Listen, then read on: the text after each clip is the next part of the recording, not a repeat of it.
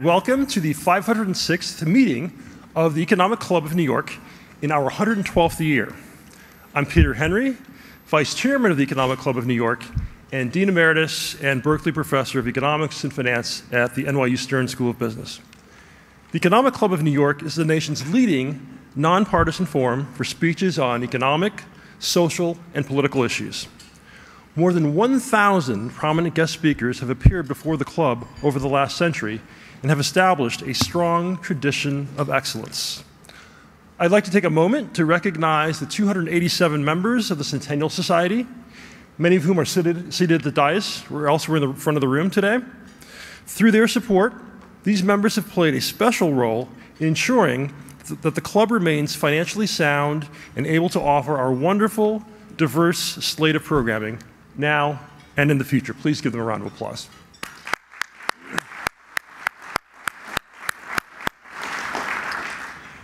We'd also like to welcome the table of graduate students joining us from the Columbia Business School, as well as our attending members of the 2019 class of ECNY Fellows, a select cohort of next generation thought leaders sponsored by members of the club for our year long program. Welcome, a warm welcome to all of you. I'm delighted now to introduce our special guest this afternoon, Richard Clarida, Vice Chair of the Board of Governors of the Federal Reserve System. Prior to his appointment to the board, Vice Chair Clarida, or Rich as he prefers to be called, served as the C. Lowell Harriss Professor of Economics and International Affairs at Columbia University, where he taught from 1988 to 2018. From 1997 until 2001, Rich served as chairman of the Department of Economics at Columbia, which is probably the hardest job he's ever had, if I know academia. uh, and he has an MA and a PhD in economics from Harvard University. Uh, let me just skipped over something here. In addition to his academic experience, Rich served as the Assistant Secretary of the U.S. Treasury for Economic Policy from February 2002 until May 2003. In that position, he served as Chief Economic Advisor to Treasury Secretaries Paul H. O'Neill and John W. Snow. He was awarded the Treasury Medal in recognition of his outstanding service. Rich also served under the Council of Economic Advisors for President Reagan, and from 2006 to 2018, Rich served as Global Strategic Advisor and later Managing Director with PIMCO. He received a BS in Economics from the University of Illinois with Bronze Tablet Honors and an MA and a PhD in Economics from Harvard University. Our format today is in two parts. Rich is opening remarks to share with all of us. Then after his speech, he's agreed kindly to join me for a conversation where we'll, cover a wide range of topics. The topics will include a couple of questions suggested by attending club members who use the club portal when registering to share questions that they would like covered. As a reminder, this event is on the record for the media and is being carried live. Rich, the podium is yours. Please welcome Rich Clarida.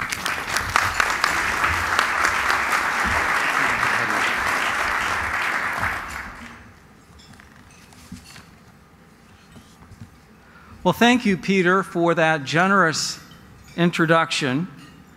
I've attended Economic Club of New York events many times over the years, and I've always enjoyed the programs that feature engaging speakers sharing important insights on timely topics in grand settings. It's a distinct honor to appear before you today from this side of the podium, and I do hope my remarks will contribute to this proud tradition. In July, the current U.S. economic expansion will become the longest on record or at least the record dating back to the 1850s, which is as far back as the NBER tracks business cycles. In anticipation of that milestone, I would like to take stock of where the U.S. economy is today, to assess its future trajectory, to review some important structural changes in the economy that have occurred over the past decade, and to explore what all of this might mean for U.S. monetary policy. The Federal Reserve has a specific mandate assigned to it in statute by the Congress, which is a dual mandate of maximum employment and price stability. As I speak to you today, the economy is as close to achieving both legs of this mandate as it has been in 20 years. My colleagues and I understand that our responsibility is to conduct a monetary policy that not only is supportive of and consistent with achieving maximum employment and price stability, but also, once achieved, is appropriate, nimble, and consistent with sustaining maximum employment and price stability for as long as possible. And thus, the title of my talk today is Sustaining Maximum Employment and Price Stability. Midway through the second quarter of 2019, the U.S. economy is in a good place. Over the past four quarters, GDP growth has averaged 3.2%, which compares with an average growth rate of 2.3% since the recovery began in 2009. By most estimates, fiscal policy played an important role in boosting growth in 2018, and I expect that fiscal policies will continue to support growth in 2019. Over that same four quarters, the unemployment rate has averaged 3.8%, and the most recent reading of 3.6% is near its lowest level in 50 years. Moreover, average monthly job gains have continued to outpace the increases needed to provide jobs for new entrants to the labor force.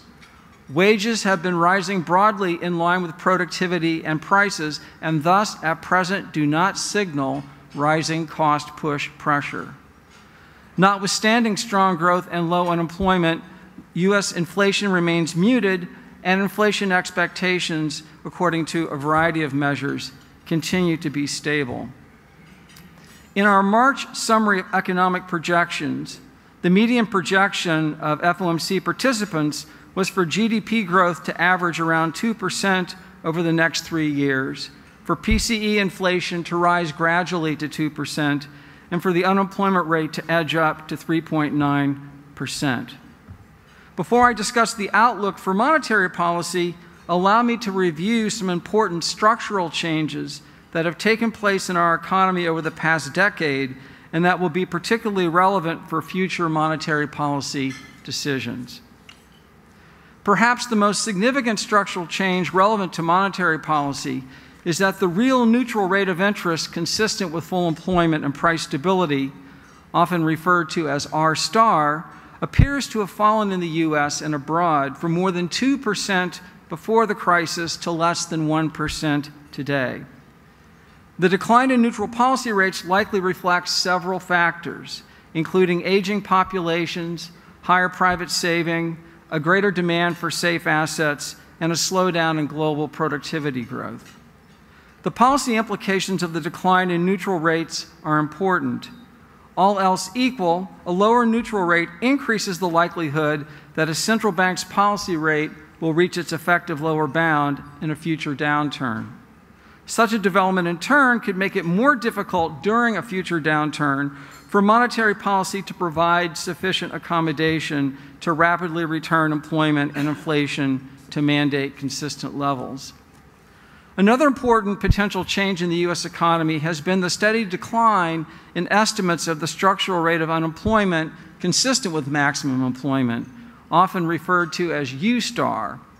This decline in U star may be due in part to higher educational attainment and a larger proportion of older workers in the workforce today relative to past decades. If U star is lower than historical estimates suggest, this would imply that even with today's historically low unemployment rate, the labor market would not be as tight and inflationary pressures would not be as strong as one would expect based upon historical estimates of U star. Indeed, I believe that the range of plausible estimates for U star may extend to 4% or even below. I also note that the decline in the unemployment rate in recent years has been pronounced by an increase in prime age labor force participation.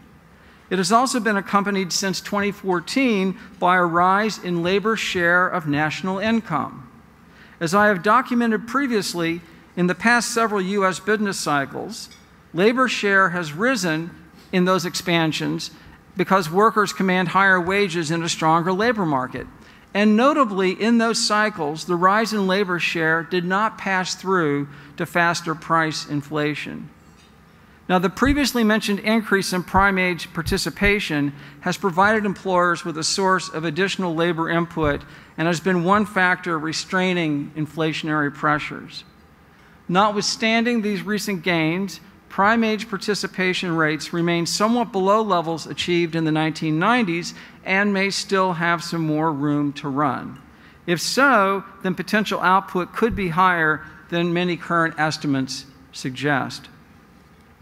Over the past few years, we have also seen evidence of a pickup in U.S. productivity growth, albeit from a very depressed average pace that prevailed throughout most of the expansion. Indeed, as of the first quarter of this year, Productivity in the non-farm business sector rose 2.4% over the previous four quarters, its fastest pace since 2010 when the economy was coming out of the Great Recession. By contrast, in both the 2001 to 2007 cycle and the 82 to 90 expansion, productivity growth was actually slowing relative to its average pace during those expansions.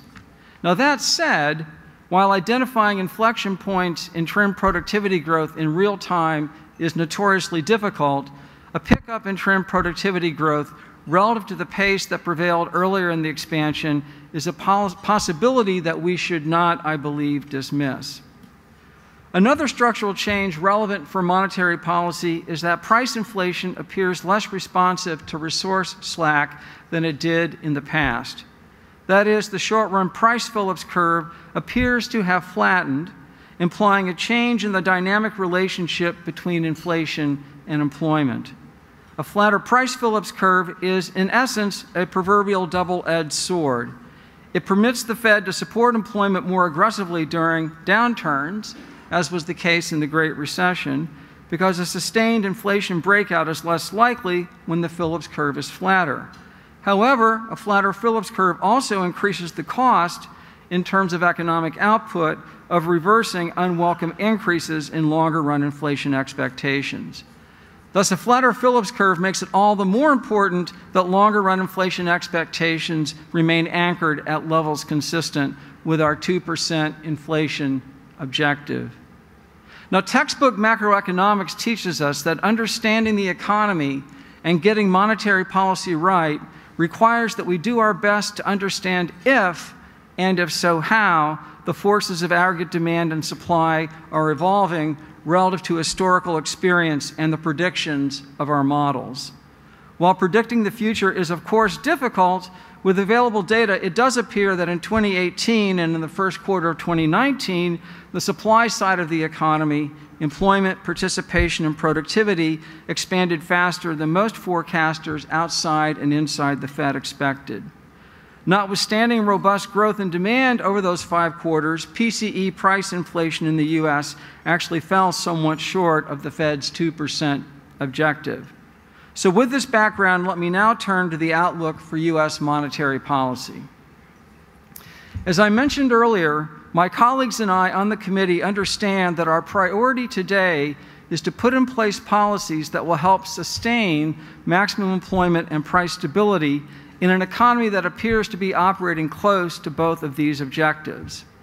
In our most recent statements, we have indicated that, quote, the committee will be patient as it determines what future adjustments to the federal funds rate may be appropriate to support these objectives. What does this mean in practice? To me, it means that we should allow the data on the economy to flow in and inform our monetary policy decisions.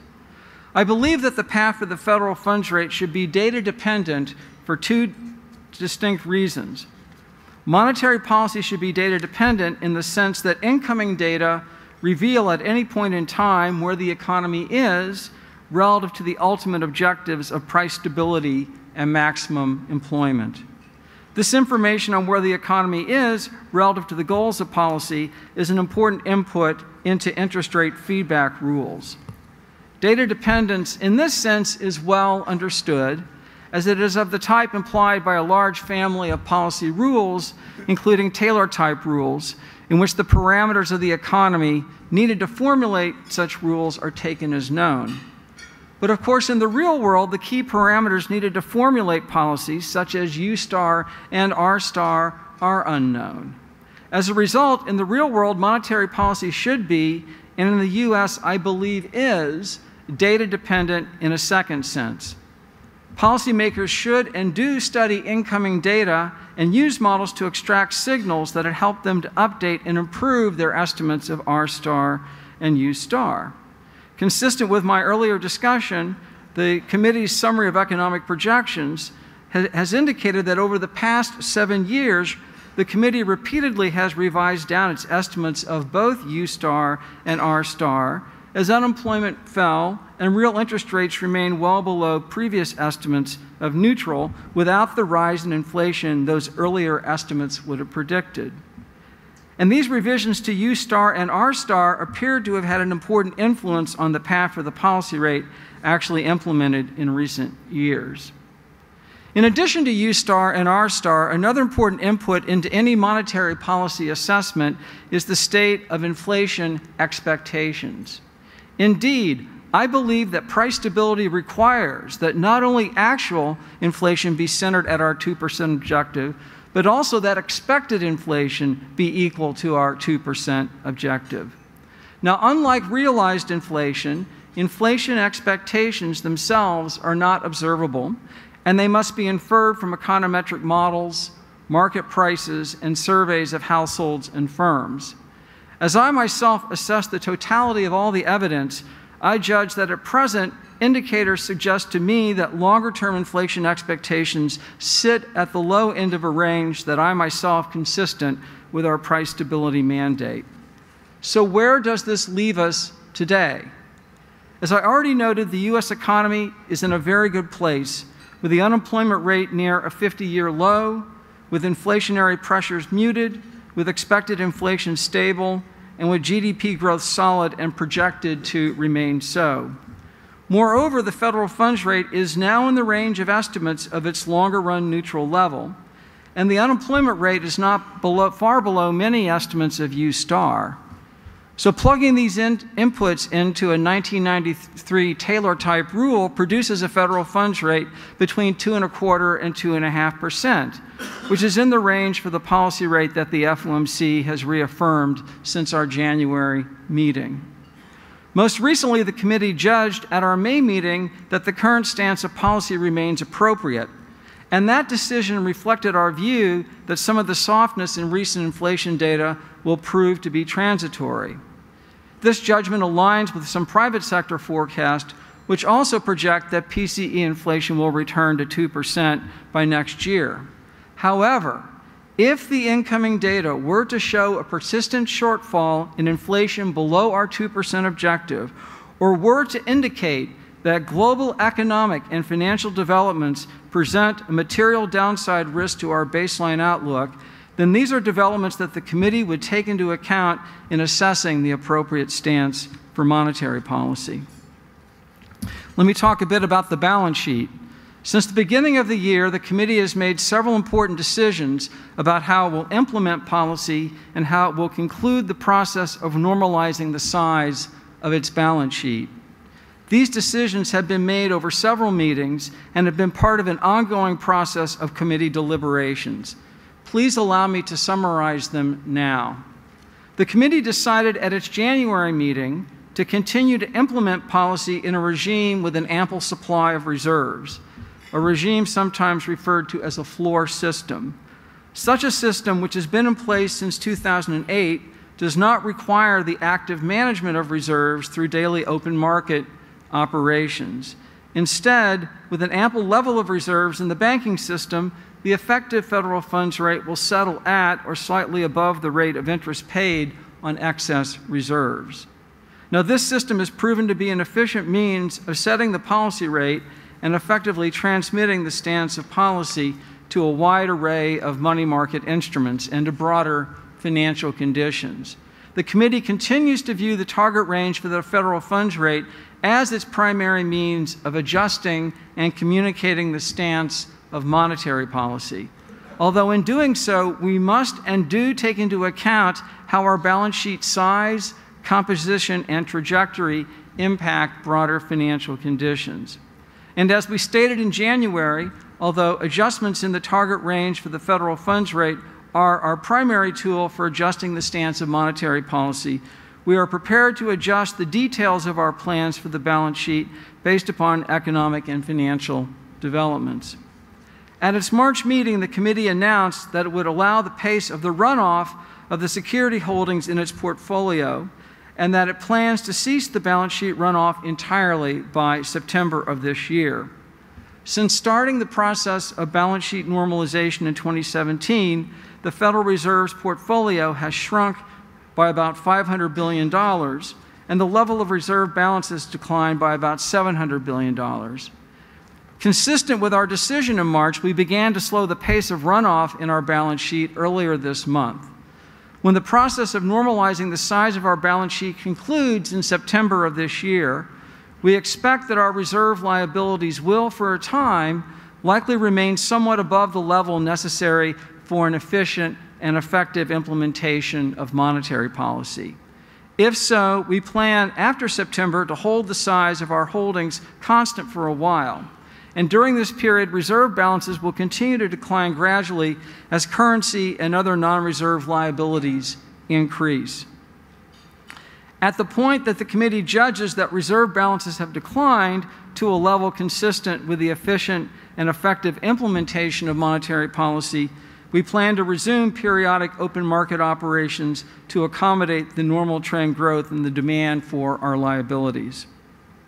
As balance sheet normalization has progressed, the effective federal funds rate has firmed relative to the interest rate we pay on excess reserves. Last year, after the funds rate moved up to the closer top of the target range set by the committee, we made technical adjustments in our operations by lowering the IOER rate relative to the top of the range by five basis points in June and again in December of 2018. At our May meeting, we made another technical adjustment in the IOER rate, reducing it by another five basis points to 2.35%. Since then, the effective federal funds rate has been trading close to the level where it began the year. Before I conclude my prepared remarks, allow me to say a few words about the review of our monetary policy strategy tools, and communication practices that we are undertaking this year at the Fed. Now, while we believe that our existing approach to conducting monetary policy has served the public well, the purpose of this review is to evaluate and assess possible refine refinements that might help us best achieve our dual mandate objectives on a sustained basis. With the U.S. economy operating at or close to our maximum employment and price stability goals, now is an especially opportune time to conduct this review. We want to ensure that we are well positioned to continue to meet our statutory goals in coming years. Furthermore, the shifts in R star and U star, as well as the flattening of the Phillips curve, suggest that U.S. and foreign economies have evolved in significant ways relative to the pre crisis experience. The Federal Reserve System is currently conducting town hall style Fed Listens events in which we are hearing from a broad range of interested individuals and groups, including business and labor leaders, community development advocates, and academics. In addition, we are holding a system research conference next week at the Federal Reserve Bank of Chicago that will feature speakers and panelists from outside of the Federal Reserve System. Building on those perspectives that we hear and staff analysis, the committee will conduct its own assessment of its monetary policy framework throughout the rest of this year. Um, and we will share our conclusions with the public in the first half of next year. In sum, the economy is constantly evolving, bringing with it new policy challenges. And so it makes sense for us to remain open minded as we assess current practice and consider ideas that could potentially enhance our ability to deliver on the goals that Congress has assigned to us. For this reason, my colleagues and I do not want to prejudge or predict our ultimate findings. But what I can say is that any refinements or more material changes to our framework that we might make will be aimed solely at enhancing our ability to achieve and sustain our policy objectives of maximum employment and stable prices. Thank you very much, and I look forward to my conversation with Peter. Thank you. Thank you, Rich, for a really stimulating and informative set of remarks. You know, it's, as you think about uh, where we are in the economy, and you give a terrific overview, think back to the end of 2018, we had incredible volatility in markets. Yeah. Beginning of the year, market seemed to stabilize and recover. And we're now back in a period which feels starting to feel a little bit choppy again, and we've got major global trade tensions.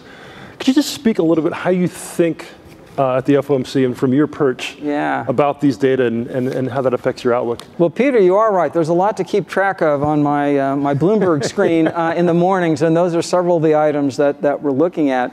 Let me say a couple of things on that. You know, first of all, as I indicated in my uh, remarks, you know, the economy is in a good place, and our baseline outlook is very constructive. Solid growth, strong labor market, uh, gradual rise uh, in inflation. Uh, however, let me be very clear that you know, we're attuned to potential risk uh, to the outlook.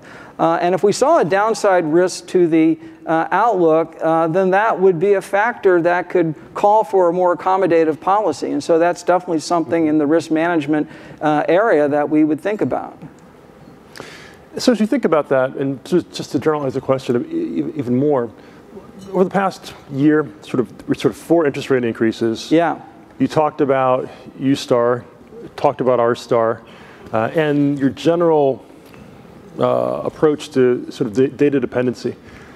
What are, to the extent you can talk about it, what are some specific changes in the data? Because it, it, seems that there's been a change in the, the priors were strongly leaning towards more rate increases. Yeah.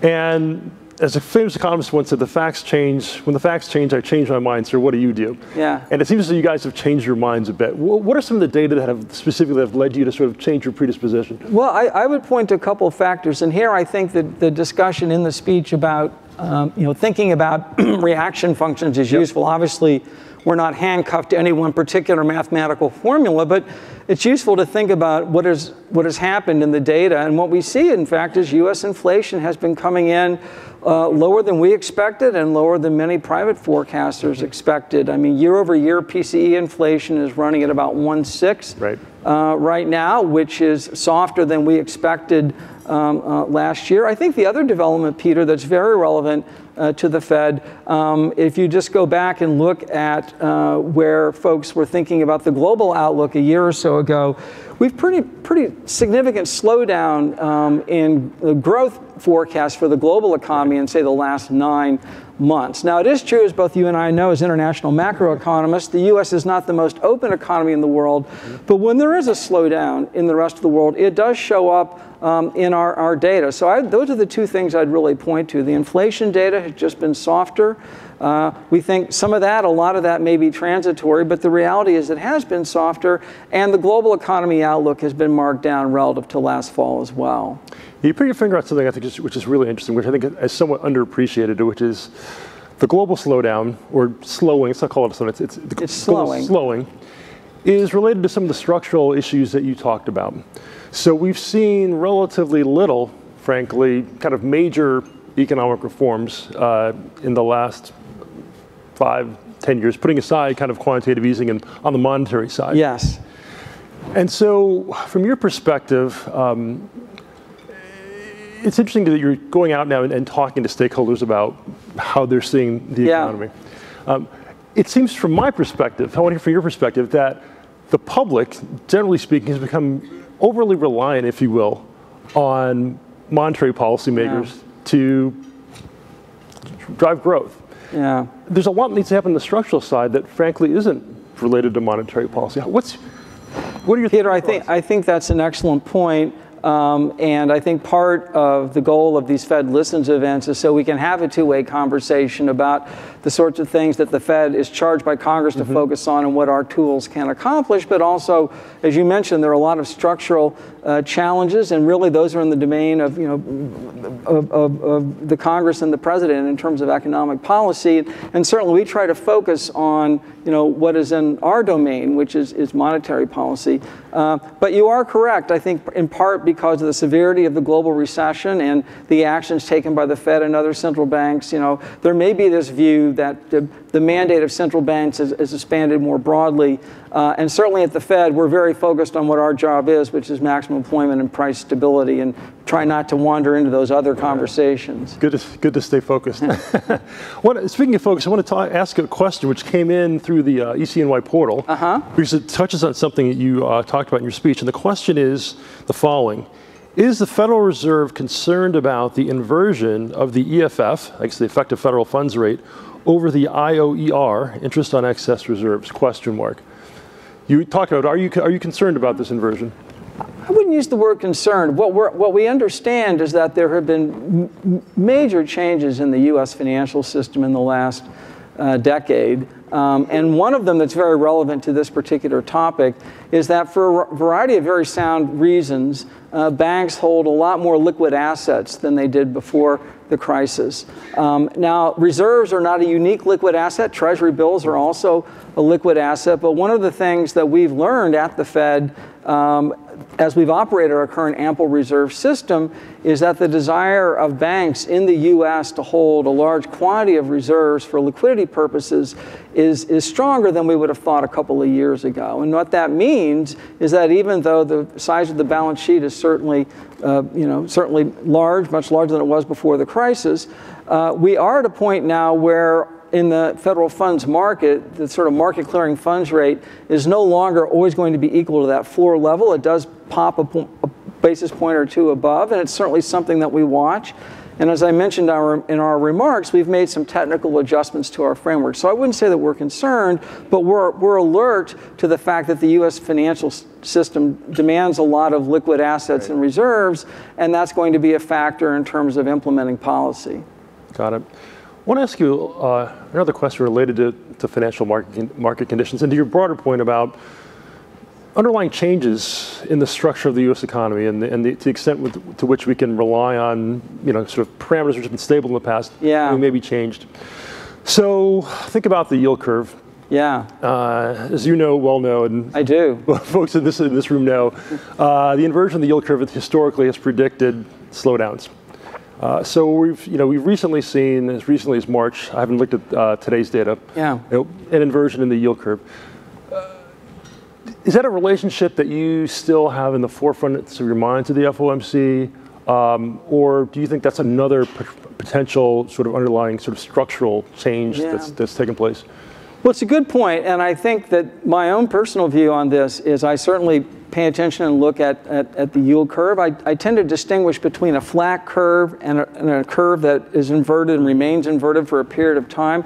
You know, we really haven't seen that yet. We've right. had some brief right. um, inversions, and I think it's important for us to understand why the curve flattens or uh, inverts. That can occur for different uh, reasons. I interpret a lot of the recent flattening of the curve is related to some of the global and financial developments I alluded to uh, earlier. But certainly something that we're that we're alert to. It's, you know, we don't just focus on that exclusively. There are a wide range of, of, of, of indicators, but but certainly it's something that's relevant as we consider appropriate policy question I want to ask you as a, as a fellow academic, yeah. sort of traveler. Um, one of the, yeah, I, I, alluded to you having been chair of the, the Columbia Economics Department. It's probably the hardest job you've had in your life. For those of us who in academia understand that it's very You difficult. were a dean. Yeah, I was dean, and I, I, I, had black hair before I was dean. Now, now I'm gray. so, but you uh, operate by consensus at the Fed. Talk to us, if you will, just a little bit in your role as vice chair about leadership and how you go about marshaling data to, to drive conversations yeah. versus versus you know facts versus feelings in human beings? How do, how do you how do you how do you play that role? Well, thank you. I, am I'm, I'm flattered that you would ask because by Fed standards, I'm still relatively a rookie. I, I, I have only been in the job since last. Um, last September, so I have only a few data points, but maybe a couple of initial impressions as someone who was a student of monetary policy for 35 uh, years. Uh, I have found uh, refreshingly that I think that the committee structure actually is, is very effective, to be honest, more effective than I might have thought as a Fed watcher mm-hmm. on the outside. We have an excellent group of Reserve Bank presidents who bring uh, very important uh, perspectives. Um, um, and obviously, we have a complement now of, of five of governors. Um, and luckily the transcripts come out with a five-year lag, and so people who are interested can read. Um, but I would say that that that um, so far all of the decisions that we've made in my brief time at the Fed have been unanimous. Uh, so obviously we've been able, the, the Powell Fed has been able to mm-hmm. achieve that. That's not required. Obviously, there, there, historically there are dissents. There may well be dissents in the future. Uh, but I think you are correct, Peter, that there is a culture at the Fed of, of, of collegiality and trying to seek uh, a common common ground. Um, uh, but in terms of facts and evidence and data, Uh, you know, we're, we're, we're really policy and data wonks in the, in the building, and we have models. I think maybe as an aside, one of the things that I have that's occurred to me in my time at the board is as someone who developed a lot of models as an academic, I do think they have a use, they're a starting point, but they're not a destination. And ultimately, we've got to make policy based upon where the economy is today and where we think it's going, not upon what a model estimated over old data indicates. And so there's probably more judgment required than you would think as a professor drawing equations on the board. But I think that the committee structure really uh, promotes uh, good judgment in that case. Speaking of new data, and new changes, I mean, yeah. one of the things that's really, I think, very sort of uncharted in some sense is just the way sort of price formation in a digital yeah. economy. Wow. Been a lot of conversation about you know whether uh, PC remains low just because there's more competition online, Amazon effect and so forth.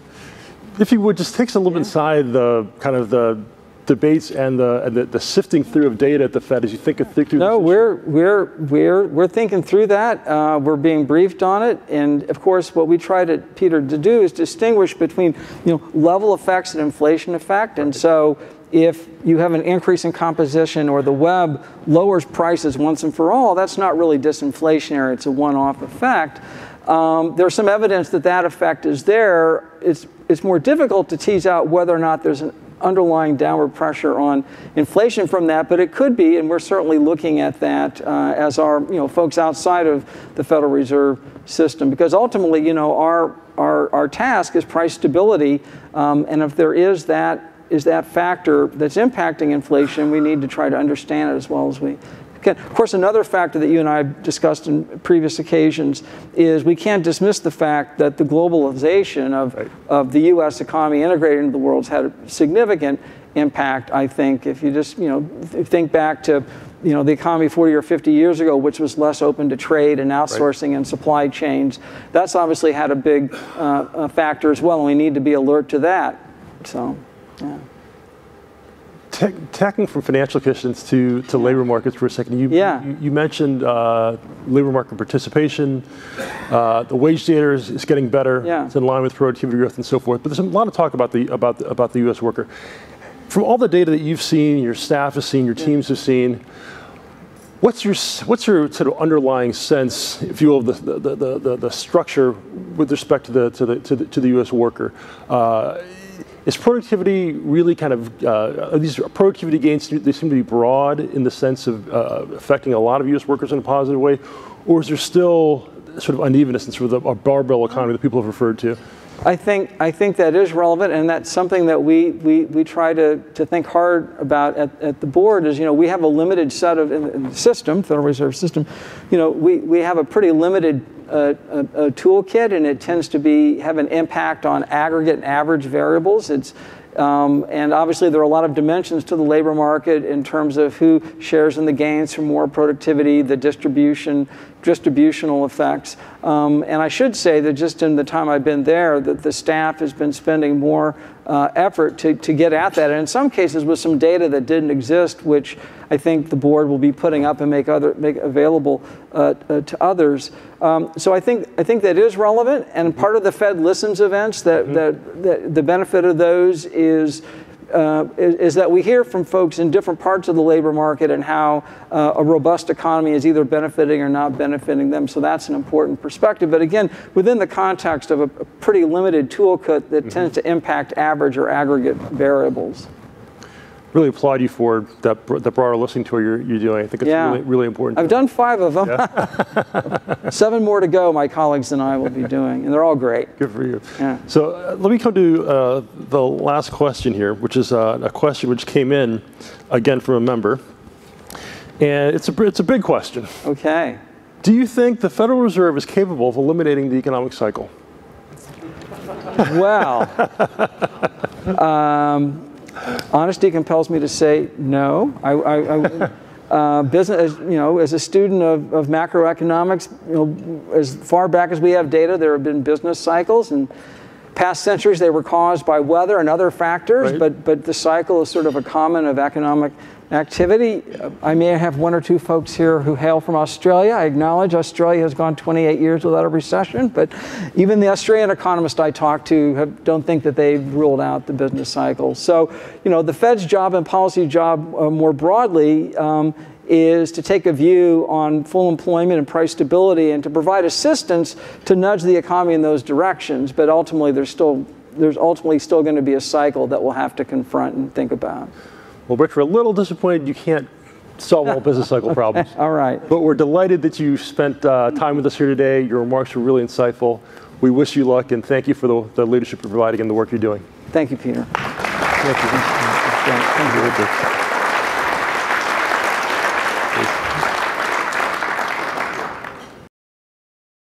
So again, Rich, uh, thank you for being with us, and we look forward to having you back soon. Please give another round of applause. And I'm pleased to report that we have quite a few interesting speakers coming up on the summer schedule of the club, starting with the following. On June 3rd, we have a reception with Stanley Druckenmiller, CEO of Duquesne Family Office. He'll be interviewed by Scott Bessent, founder and chief investment officer of Key Square Management, LLC. And then June 4th, we have a luncheon with Brian Moynihan, CEO of Bank of America. On June 19th, we have a luncheon with General David H. Petraeus, former director of the CIA. And on June 24th, we have a luncheon with David Malpass, the new president of the World Bank Group. So we look forward to seeing you at more events. Thank you again for joining us today, and now please enjoy your lunch. Thank you.